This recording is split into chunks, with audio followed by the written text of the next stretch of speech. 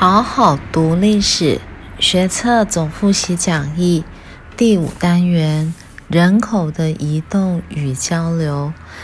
啊，同学大家好，我们现在来看一下。在一百三十四页的史料好好读。那这段史料好好读呢？呃，主要有两段资料。那资料一主要是奉天讨胡袭部四方域。那资料二是曾国藩所写的讨粤匪西。那面对这样的一种史料题呢，我们该如何呢去做题目呢？第一个，当然我们要先做阅读。那在阅读当中呢，去找出。呃，这段资料当中所透露出来的蛛丝马迹，那我们看一下资料一。资料一的地方呢，我们来看一下奉天讨胡袭部四方域。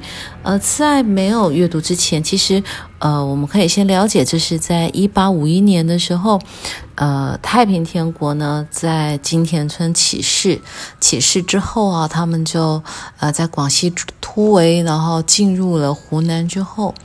那东王杨秀清跟西王萧朝贵啊，联合发布了啊这些檄文，主要是呢，希望可以呢，呃，联合大家来反抗这个这个清朝的统治，号召世人呢能够响应太平军的起义。那。我们如果你并不知道这样的一个背景的情况之下，我们可不可以从这段文字的叙述当中去了解到、找到呃这些蛛丝马迹呢？我想应该是可以的哦。所以我们来一起来读一读，在资料一的这一段当中呢，一开始他说啊，盖自满洲四独。混乱中国，而中国以六合之大，九州之众，一任其胡行，而舔不为怪。中国尚得为有人乎？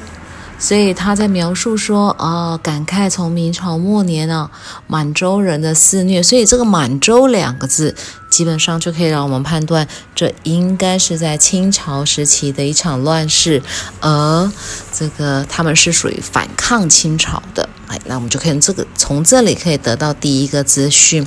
那他说呢，中国混乱呢，在满洲呢控制了中国的领土。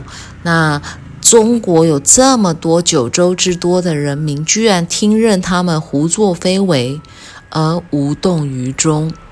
这中国还能称得上是有人才吗？哦，所以他这段讲的非常的激动啊。那希望可以激起人们的一种就是认同。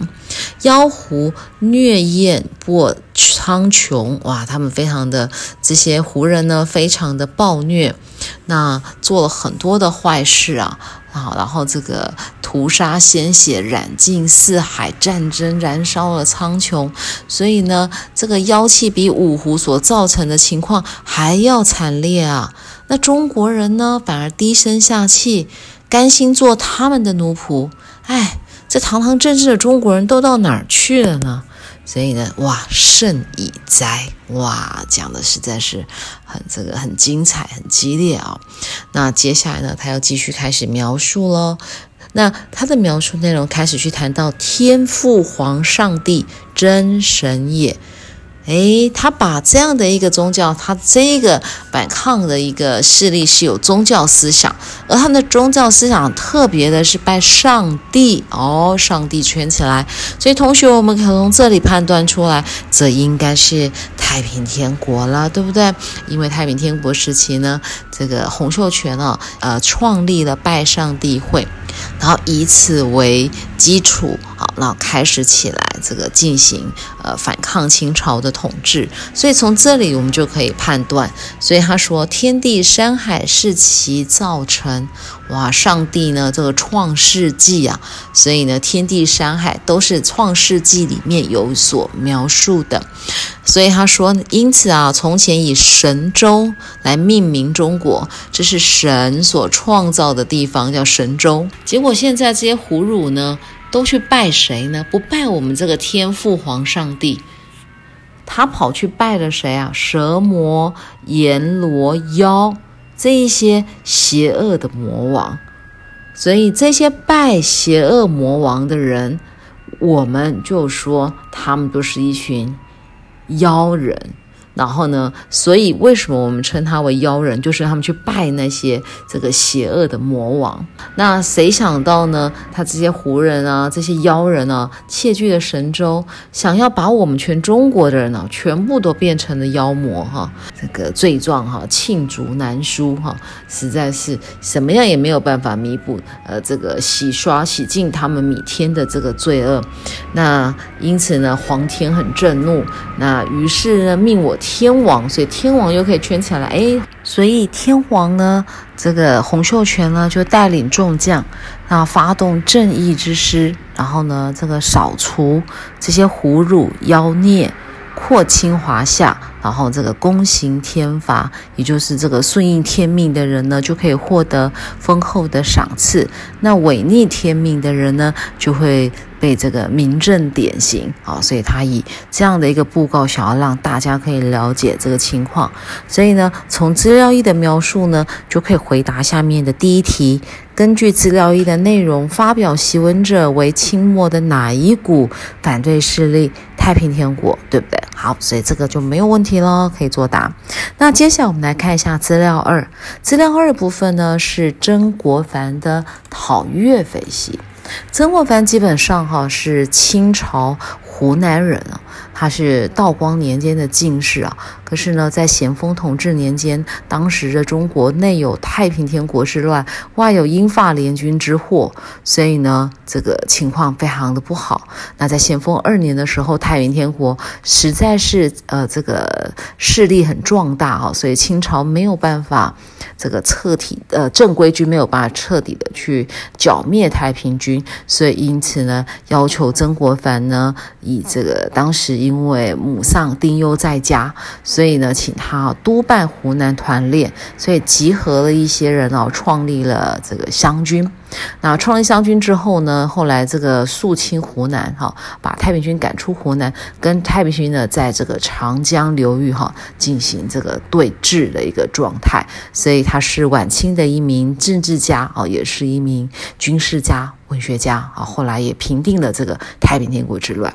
那在这个过程当中，我们来了解一下哈，他到底想要表达什么样的想法？他的讨粤匪檄，这个岳匪。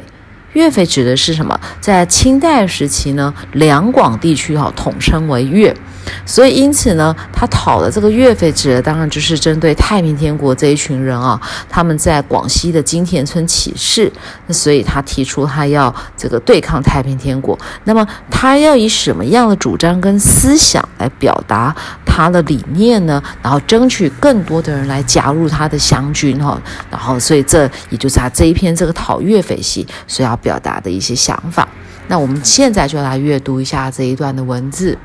那根据这一段的描述呢，他开始就讲说，岳匪啊，自处于安富尊荣，而是我两湖三江被挟之人哦，真全使牛马之不弱。所以他讲说啊，这一些岳匪啊，自己的生活在这个安贫富足的一个状况之下。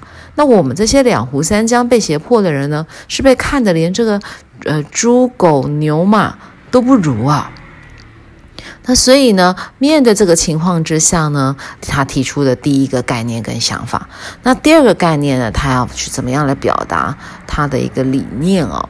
那他就说呢，自唐虞啊这个三代以来。好，那历代的圣人呢，扶持明教，所以呢，他就开始从这个过去最早的历史开始来讲起了哈。从以前这个啊尧舜的时代呢，历代的这个圣人啊，都一直在讲到这个明教。明教当然指的就是中国的这个儒家思想，对不对？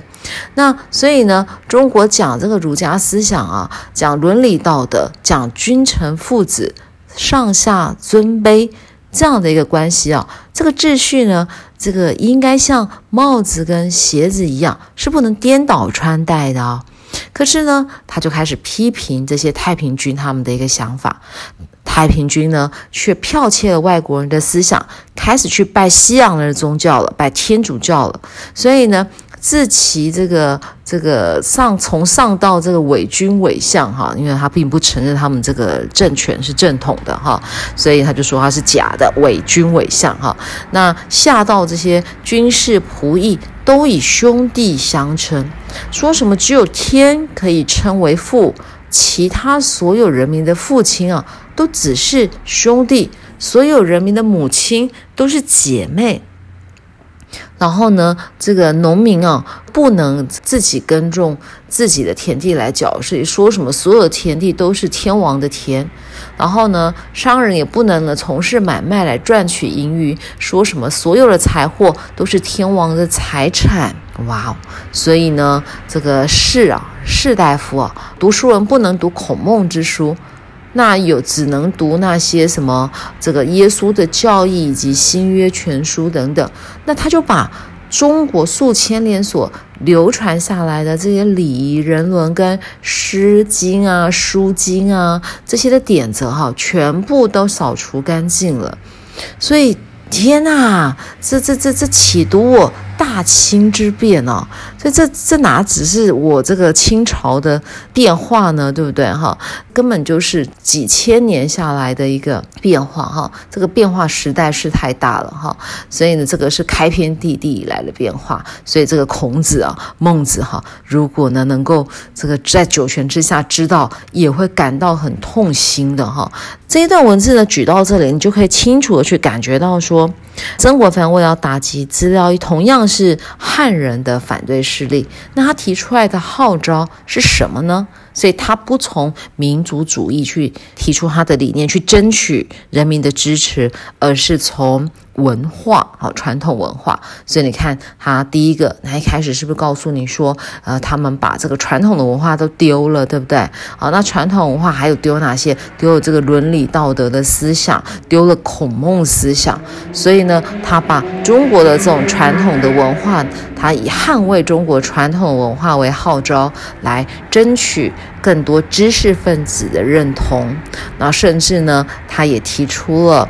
呃，包含像这个这个天朝田亩制度，好这些这个圣库制度这些呃具有社会主义含义的一个概念，然后以资本主义的角度来攻击对方，那所以呢，这也是他提出来的几个号召跟思想。